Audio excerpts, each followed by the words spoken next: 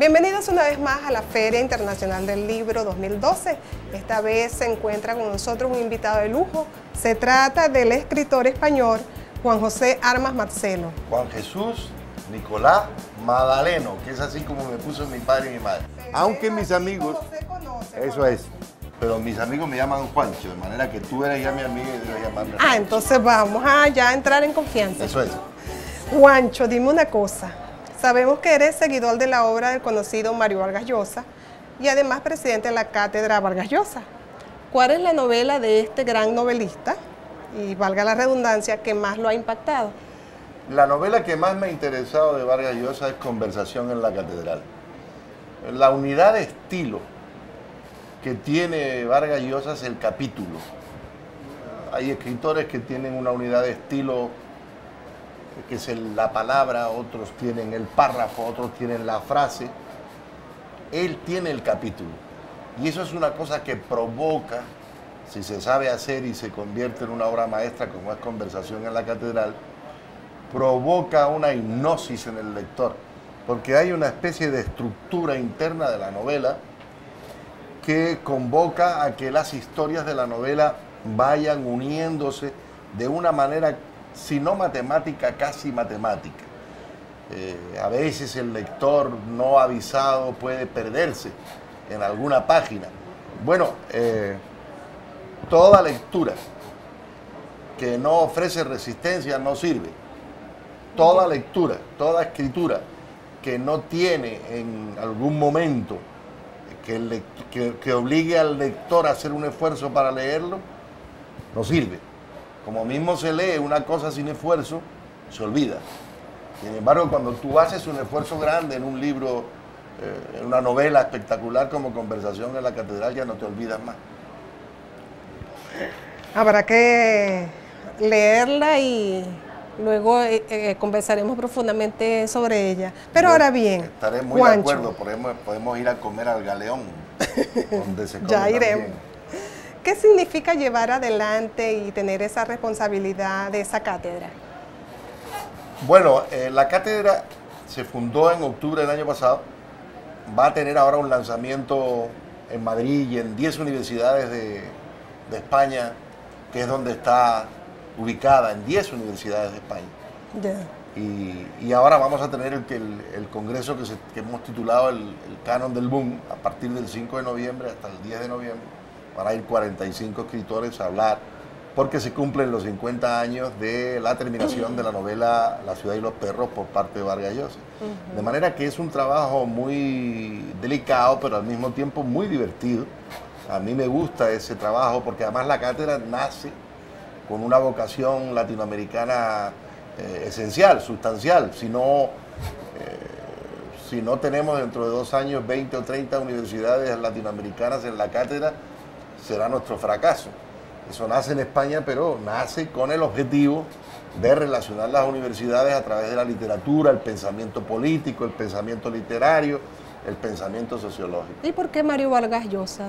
¿Por qué no se interesó por Bueno, hace falta siempre un nombre espectacular, ¿no? Y yo creo que Vargas Llosa es una tuneladora. ¿Cómo le vas tú a... A negar. ¿Cómo vas tú a convencer a gente que no son muy inteligentes, pero que tienen el dinero,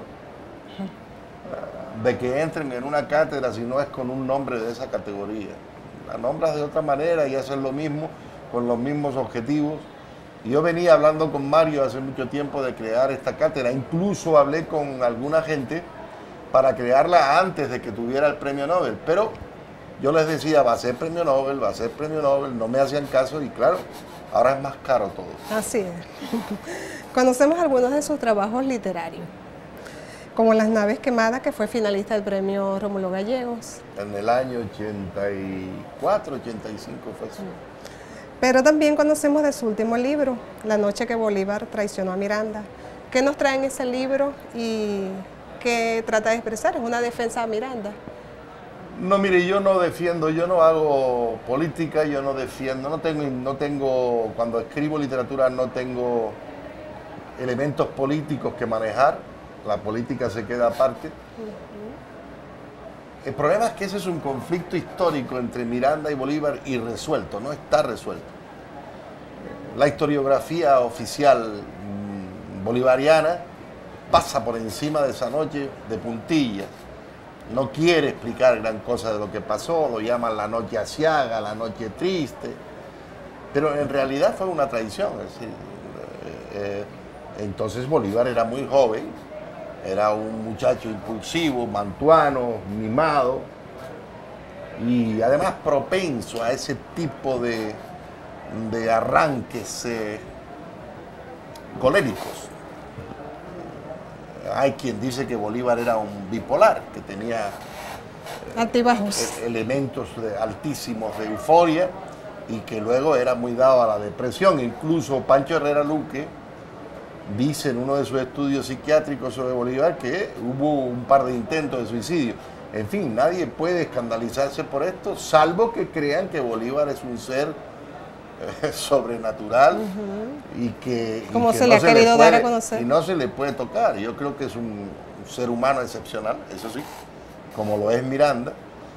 Y en la novela lo que yo hago es reivindicar la memoria un poco oculta, un poco olvidada, un poco llevada a un puesto secundario. De, ¿Y si ha tenido una receptividad ese libro aquí en Venezuela? Pues eh, mire, no lo sé, porque yo no, no sigo al libro, yo lo que hago es escribirlo. y no me preocupo mucho después porque estoy dedicado a escribir otros. Pero he venido aquí a presentar el libro y el libro no estaba. Pasa una cosa muy surrealista con este libro. Ya lo he presentado en tres sitios en América Latina y he venido yo y el libro no está quiere decirse que el libro viene detrás de mí. Yo espero que llegue en unos días a, sí sé que ha sido enviado y sé que está en, aduana. Pero en todo caso me gustaría desmentir, para aquellos que quieran escucharme, que la novela no ha sido prohibida, porque alguien me dijo, hay un rumor en las, en las redes sociales, digo, no, desmienta rotundamente, yo no tengo noticia de que la novela haya sido prohibida. Eh, y yo no creo que tampoco se entretenga un gobierno que tiene tantos problemas y un país que tiene tantos problemas, no creo que tampoco eh, se entretenga en, parar un libro que por otro lado tampoco es anti-venezolano, por mucho que alguien lo diga. Al contrario, yo creo que es un libro absolutamente, es una novela absolutamente venezolana. ¿Y en este momento que está escribiendo? Estoy escribiendo una novela que tiene lugar en Panamá en tres tiempos, en la construcción del canal, en la devolución del canal, que no fue una devolución, sino una entrega por presión internacional, y en la actualidad. Y tiene dos o tres personajes muy interesantes, sobre todo uno, que es Paul Gauguin, que es el pintor francés que trabajó en el, en el canal.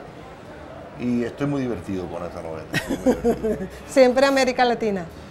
Casi siempre si no es América Latina, es mi ciudad, que es Madrid, y si no es mi tierra, que míticamente, mi tierra canaria, que míticamente aparece en mis novelas como Salvago, como la isla de Salvago, pero son territorios que conozco, yo no puedo escribir sobre un territorio que no conozca bien, tengo que haberlos pateado, haberlos conocido, conocer la historia eh, de esos países. Y por otro lado, mi vocación de escritor es una vocación latinoamericana. El propio Vargas Llosa decía que yo era un, el, más el más latinoamericano de todos los escritores españoles y el más español de todos los escritores latinoamericanos.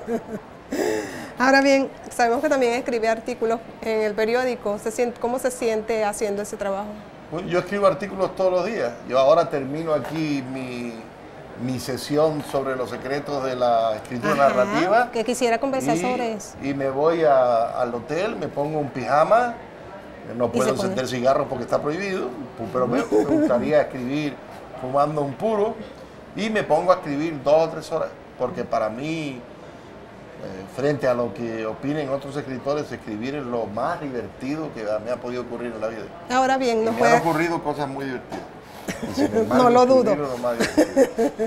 ¿Y nos puedes revelar alguno de esos secretitos para narrar? Depende lo que digamos eh, que es un secreto, es decir, cuáles son los trucos para poder escribir.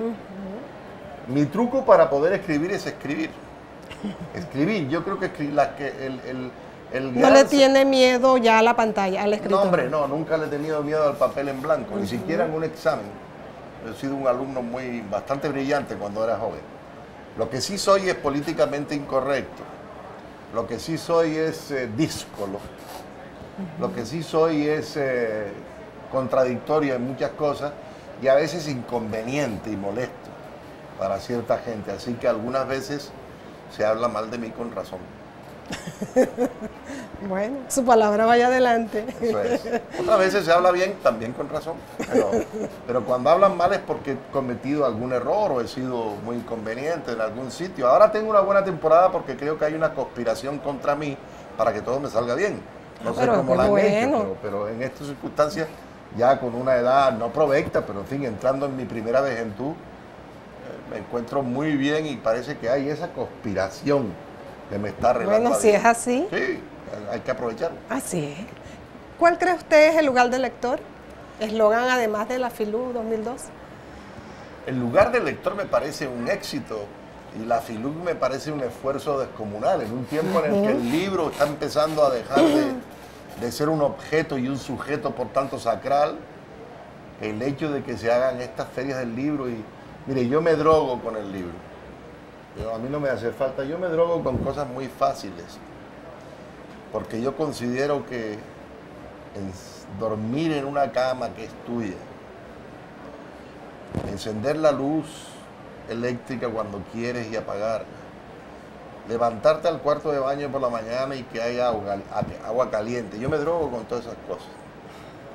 creo que eso es un privilegio que debemos agradecerle a la vida y no lo tenemos todos.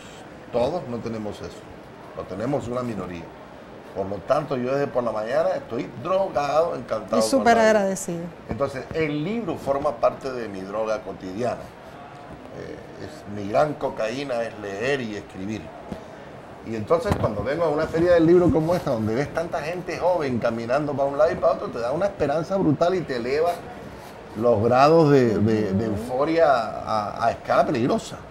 Porque tú mismo te sientes más joven de lo que eres estando tan rodeado y, tan, y viendo a gente tan interesada por el libro. Además, el libro, el libro desprende un olor eh, y tiene un tacto, el papel de imprenta.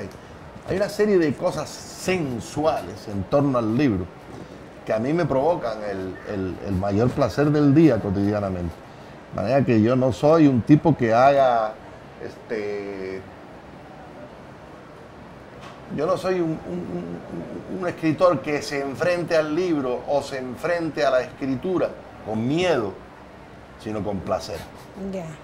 Cuando leo, la lectura es un placer. Y si, más, y si me cuesta más trabajo entender lo que quiere decir el libro, más placer. Si me, el libro no me ofrece resistencia y yo leo línea tras línea así, eso no tiene ningún interés para mí. Lo que, lo que me ofrece resistencia, lo que me obliga a hacer el esfuerzo de lectura, eso es ahí donde se aprende. Un libro que no ofrezca eh, un esfuerzo, que no te obligue a hacer un esfuerzo y que no ofrezca resistencia.